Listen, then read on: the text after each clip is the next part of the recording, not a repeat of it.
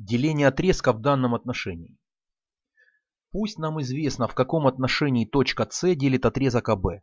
То есть нам известно отношение АС к СБ. То есть пусть АС деленное на СБ равно лямбда. То есть точка С делит отрезок АБ в отношении лямбда. Нам необходимо найти в этом случае координаты точки С. То есть нам надо выразить координаты x0, y0 через координаты концов отрезка. То есть через координаты x1, y1, x2, y2. Как это сделать? Точно так же, как в предыдущем случае при делении отрезка пополам, проведем прямые из точек А, Б и С параллельные осям координат. Вот таким образом. И э, используя теорему Фалеса, запишем пропорциональность соответствующих отрезков. То есть параллельные прямые делят, отре, делят э, параллельные прямые делят другие прямые, пересекающие, э, пересекающиеся параллельными прямыми, на пропорциональные отрезки. То есть получается, что АС так относится к СБ, как вот этот отрезок по оси ОХ от x1 до x0 и деленное на отрезок x нулевое, x второе. То есть получается, э, так и запишем. То есть получается, что длина отрезка, ну, можно было точки здесь поставить какие-нибудь, но это не обязательно. Длина отрезка от x1 до x0, чему она равна? Надо от координаты конца вычесть координату начала. То есть надо от x0 вычесть x1. То есть по условию тогда и по теореме Фалеса э, мы можем записать следующее а, равенство. То есть x нулевое минус x первое это длина соответствующего отрезка, которая, которая является проекцией отрезка АС. Далее запишем отношение к проекции отрезка CB, то есть соответствующего отрезочка x0, x2, длина которого равна x2 минус x нулевое. И это отношение должно быть равно по теореме Фалеса лямбда, то есть тому же самому отношению.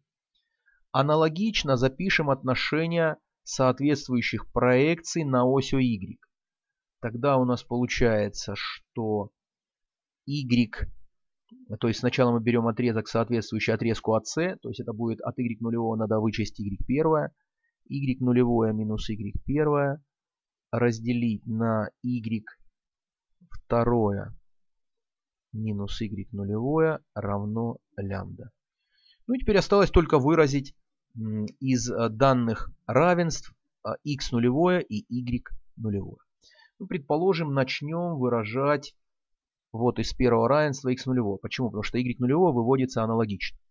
Тогда у нас получается, э, во-первых, э, сразу умножим правую часть на x2 минус x нулевое.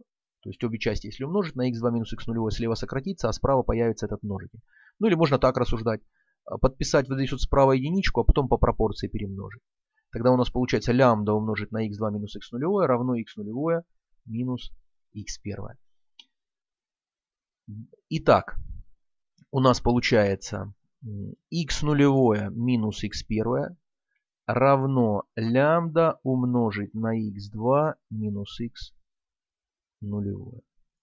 Раскрываем скобки и переносим все, что связано с x нулевым в левую часть. Тогда у нас получается x нулевое минус, э, да, x первое сразу будем переносить вправо. Значит, x нулевое, или ладно, сначала раскроем скобки. Минус x первое равно лямбда x2 минус лямбда x нулевое. Переносим все, что с x нулевым, э, нулевое связано влево.